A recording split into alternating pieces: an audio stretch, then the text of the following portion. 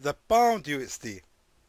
Guys, I'm sorry, I cannot explain how much I'm happy because I have a whole video just to talk about every pair. I mean, that is like freedom for me. It's like I was tied my hand, it was cuffed and finally it's breaking out. Now I can feel free to talk about the pair as much as I want and hopefully everyone will learn how we can do some uh, chart analyzing using Xtreme Trader style. So uh, let's go directly to the analysis. So for the pound USD, I mentioned in my previous analysis that I'm expecting for it to reverse right on the support level. However, the market just continued uh, its bullish momentum. Uh, if I'm not mistaken, I said that it's a smart idea to start buying the pound USD, but we needed to wait for the right moment, which actually did not come through. Anyway, what is the next thing to, to do now? Okay, so what I'm expecting from the pound USD, that it is actually going to continue its uh, growth and this bullish momentum is going to continue its momentum all the way until it hit this previous resistance level right here. Let me just be more accurate. Like that actually even more like that. Let me just be accurate as much as possible my friends because yeah exactly look at that. Wow. Check it out. Perfect. So let me just uh, be more accurate here. Now the pound USD is on a very strong bullish momentum and it's continuing its growth. And if I'm not mistaken one second guys. Okay sorry about that. As I said the pound USD is going to grow to continue its growth. And the question is where we should uh, actually start selling the pound USD actually as I mentioned uh, selling once it's entering this zone here let me just get rid of, rid of that and start drawing the zones just to be sure everyone is satisfied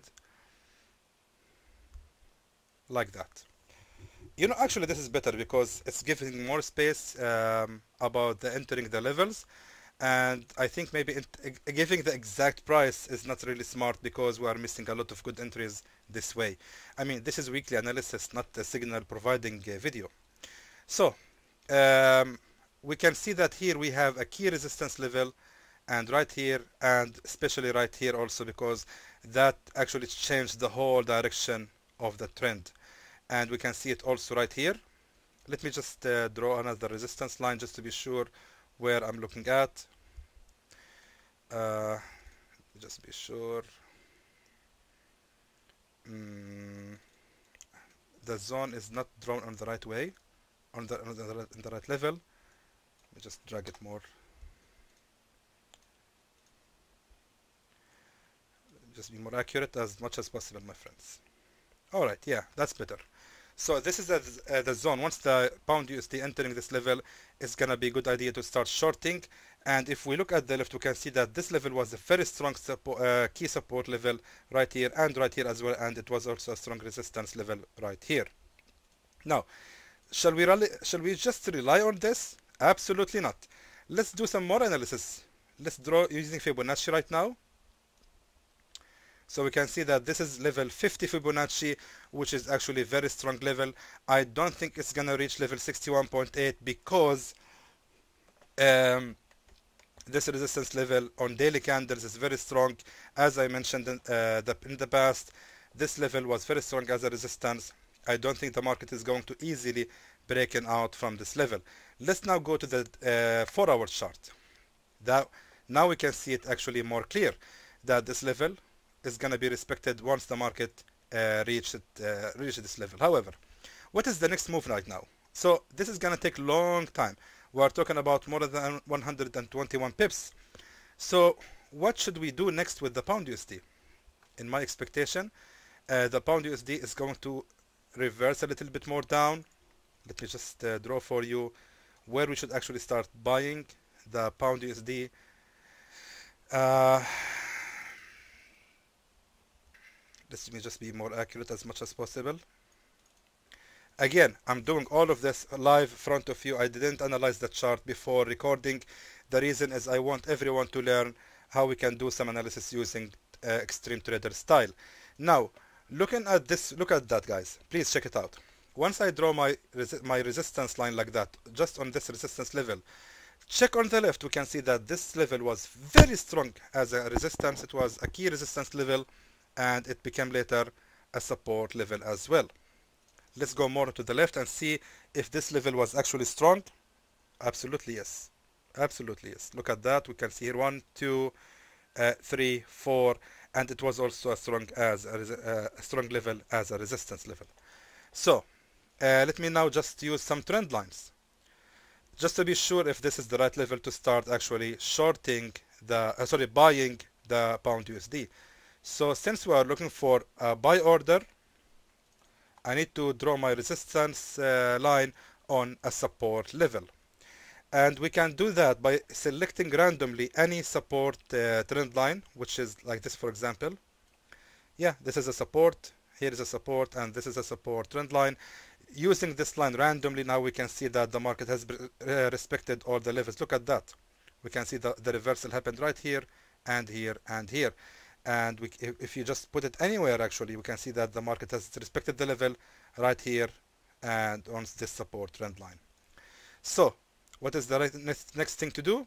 I just need to draw the to put this uh, resistance this support trend line like that. So what we can look for now?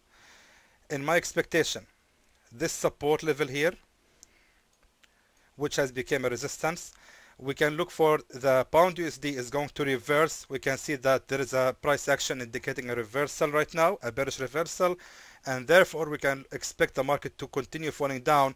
That is where you want to actually place your buy order for the pound USD now we are buying just the continuation of the trend because this is the pullback and we are going to wait for the pullback to finish once the pullback performed we are going to buy the pound USD and keep your trade running all the way until it hit the level 50 of Fibonacci once the market reaches previous resistance level and then we are going to short the pound USD so let me just uh, place it here. Buy after the pullback. The pullback. Perfect after the pullback. What does it mean after the pullback? It means if there was no pullback if you see a breakout candle approach uh, or appeared on this level then please don't buy the pair and just wait for the midweek analysis to see what we're going to do next. Of course we are just doing some technical analysis. We cannot be sure what will gonna happen. I'm expecting that there will be here a reversal after the pullback. You have to wait for the price action to be finished. Don't rush and place the buy order once the candle uh, touch this area here. Just wait to see what will gonna happen. If the market is going to uh, close as a pin bar or a doji or a reversed hammer whatever price action I have taught you about in my channel once you see the, once you see the price action you can place the buy order on the pullback and then hopefully you can continue your trade running for almost uh, 192 pips. Hopefully will be in profit and then we can actually start sell the reversal. Hopefully this is gonna happen. To be honest with you um, I'm not I'm not expecting this to be happening right this week. No uh, I think it's really hard this is the four hour chart and this market is gonna be very slow this month uh, sorry this week.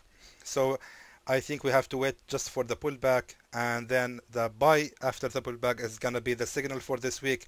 Hopefully by the week after the market might reach this level and we are going to short the pound USD so that was my expectation for the pound USD uh, again thank you guys for watching